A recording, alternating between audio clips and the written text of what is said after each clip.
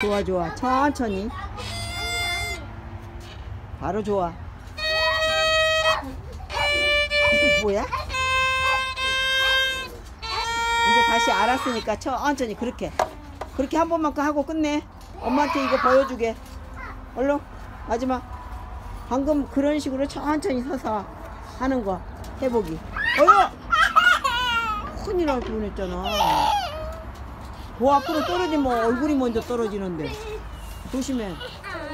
누가 뒤에 나오면 항상 하이리도 조심해. 어, 팍 나오다가 얼굴이 막 떨어지면 큰일 났는데 어허! 도, 들어가게 해 동생. 니 나오고.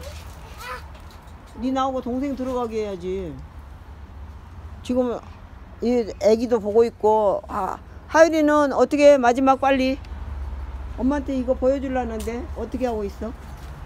다 했어. 너네들은 이제 들어가. 가자 우리. 얼른 가자. 빨리 가자. 얼른 가기로 했잖아 이제. 다 했어.